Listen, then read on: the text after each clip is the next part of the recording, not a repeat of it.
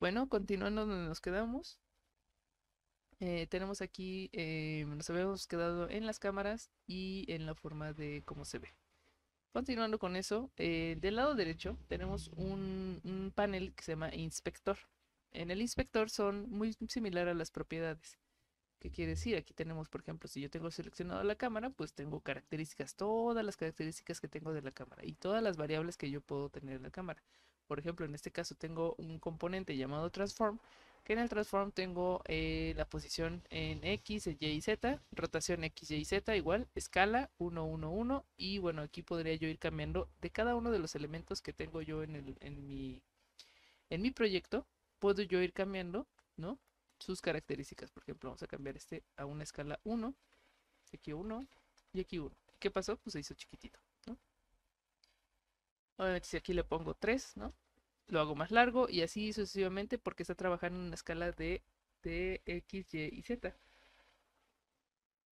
Tengo aparte eh, a otras características eh, que más adelante vamos a ir viendo, que es el, este, que cada objeto podemos ir nosotros asignándole, pero el inspector funciona como si fuera un... Vaya, que son todas las propiedades que podemos asignarle al, al objeto del juego. Por ejemplo, este que tiene aquí, pues tiene un componente llamado animator, donde manda llamar un controlador de animación llamado Mundi FBX, FBX, FBXY este 2, que justamente es este, que este tiene asignado una animación. Y otra ventanita que es muy importante que vamos a estar viendo, que es el de Project. Y aquí en Project, si se fijan, tenemos un tipo buscador. Y se acuerdan que lo habíamos guardado en una carpeta en específica ahí en su computadora. Pues bueno, aquí ese Project nos abre esa carpeta que empieza por default cuando hacemos el proyecto con la primera carpeta llamada Assets. Los assets, acuérdense que son eh, todos los elementos que están en un videojuego, es un asset. Audio, imágenes, video, etcétera tenemos aquí las escenas.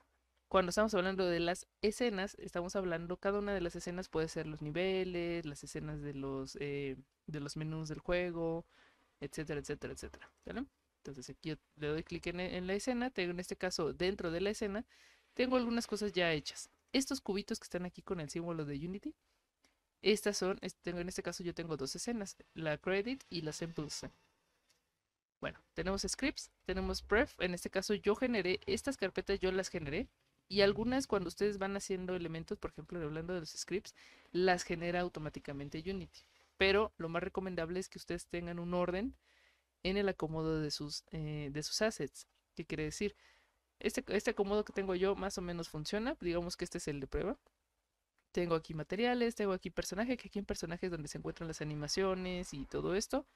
Tengo preferencias ¿no? Bueno, perdón, tengo prefabricados y tengo los scripts, que en este caso son estos iconitos que tienen aquí, que son justamente scripts que tengo yo preestablecidos. Si le doy clic, automáticamente me va a lanzar sus características y aquí abajo, aquí en el lado de inspector puedo ver que efectivamente tengo todo el script desglosado de lo que dice este, este script, que es eh, código en C Sharp.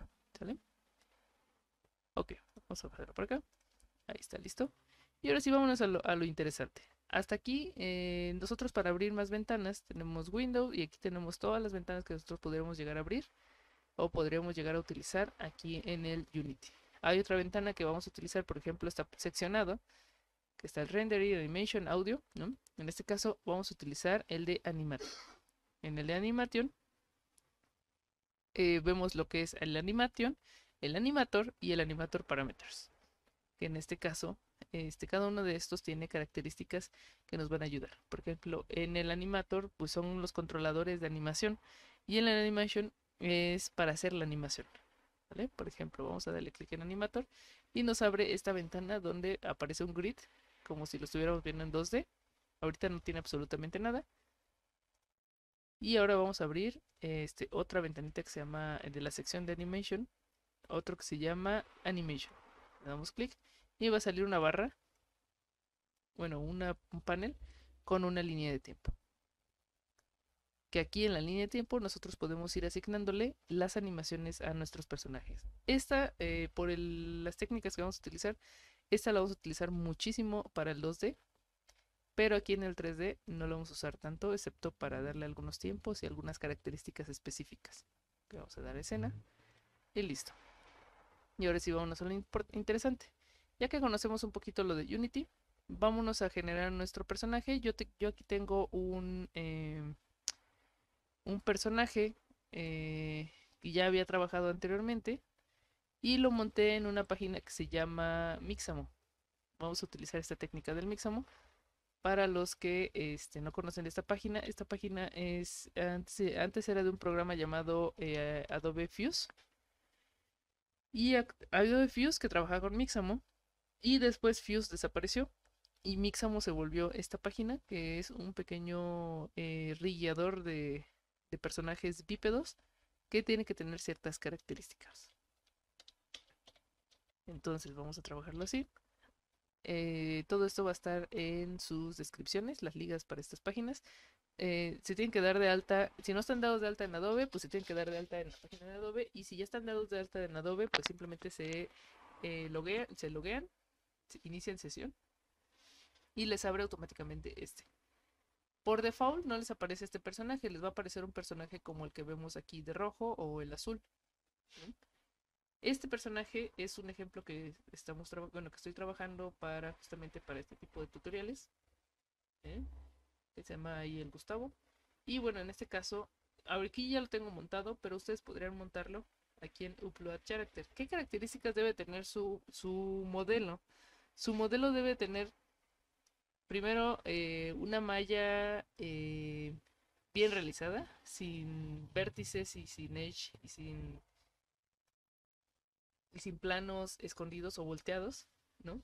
Este, y otra característica muy importante que debe tener es que debe tener quartz y no tricks. Quartz, que quiere decir que justamente sean este eh, aquí dentro de la malla cubos y no tricks. Otra característica es que nosotros lo pongamos en posición T, como lo vemos aquí, posting. Ahí lo ponemos en posición T y esta posición eh, pues son los brazos extendidos y las piernas Podríamos trabajar las piernas un poquito más separadas porque a veces llega a pasar que este, reconoce en el movimiento del rigueado, hacia el momento de hacer los huesos, toma eh, un vértice de un lado, este, de otra pierna y demás. Es raro, pero sí llega a pasar. Dependiendo del modelo. Si su modelo tiene, por ejemplo, una capa o tiene elementos añadidos, este, el mixamo puede eh, confundirse otra característica importante, hablando justamente de las capas y eso, es que tienes que tener el modelo en un solo... hay dos opciones.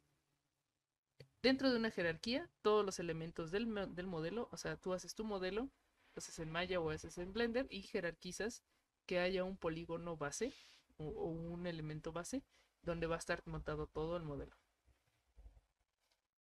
Haremos otro video de eso.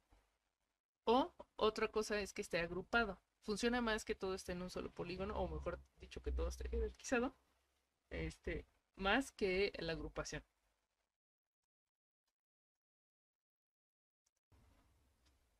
Ok. Otra cosa que ustedes pueden hacer, que es mejor trabajarlo así, y el Mixamo trabaja muy bien así, es que todo sea un solo polígono. Entonces hay tres opciones.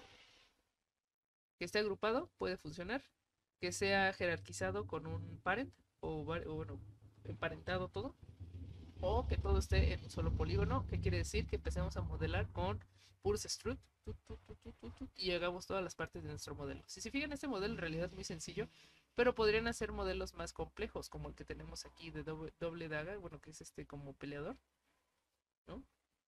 que este, tiene más elementos eh, añadidos y obviamente tiene eh, texturas. Otra característica muy importante al momento de hacer esto es que cuando nosotros lo exportemos, lo exportemos como OBJ o como FBX. Esas son las dos opciones que acepta el Mixamo. Entonces, aquí nos dice, ¿sabes qué? FBX o OBJ y sí, que particularmente yo nunca lo he trabajado, pero he trabajado con FBX y OBJ. El FBX Funciona en el sentido de que nos agarra mejor las texturas y algunas características añadidas. El FBX es un poquito más pesado que el OBJ. El OBJ es un poquito más ligero, pero a veces el Mixamo no te toma características que nosotros le vamos agregando. Ya en los programas de modelado, Maya, Blender o